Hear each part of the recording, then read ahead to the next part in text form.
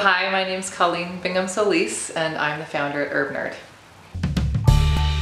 I was born and raised in California. I've never lived anywhere else outside of California. I, I do consider myself a California girl.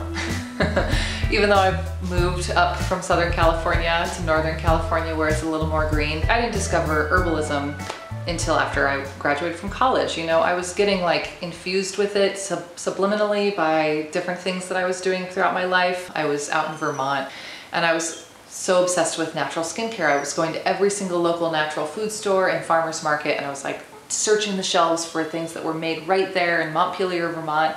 Like, oh my God, loving everything. My friend saw how like obsessive I was with this skincare and she looked at me and was like, you know, you can make that stuff. And I was like, what? She's like, it's total blindsiding. She's like, yeah, I mean, obviously I'd seen the one at the farmer's market make it, but she's like, yeah, you there's this woman, her name's Rosemary Gladstar. She has this book, I think. It's like a little beauty book on how to make your own skincare products. And that was a pivotal moment for me in my life. I went home from that trip, I got that book, I started making those recipes. I signed up for my first herbal course with Jane Bothwell up in Humboldt County. And that was it. Like, my life completely changed. And so much of that is this piece about the environment and how I am finally able to connect into these plants and the earth in a visceral way where I can where I can feel like I'm tending to the earth, that I'm educate, educating people about how to take care of the planet, and that I'm showing people how to reconnect to the natural world and how it's just right there. It's right outside your door and it's so accessible. And for people like me who have that brain that's always going and I need to always be moving, not only is it right outside my door, but I can go out there and I can harvest some of it respectfully and bring it back into my home and totally bridge that gap. There's no longer a divide at that point. You are, you are fully engaged and you've brought it into your home and you're making it into medicine and you're using it to heal yourself and your family and all of your friends and then they're inspired by it. That's why I love teaching it and that's why I want to put myself out there in this way is because it changed my life so much and I really want it to do that for other people as well. So it's this combining plant medicine, taking plants and putting them into products.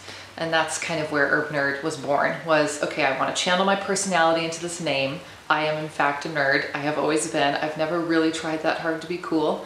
And I, and I, and I love talking about plants. Herbalism is a topic where people are drawn to it. I don't know if it's the energy of the planet or Mother Gaia that's like reminding people that this information is out there or what, but you know, the community that's built around herbalism is very attractive and it's very magnetic.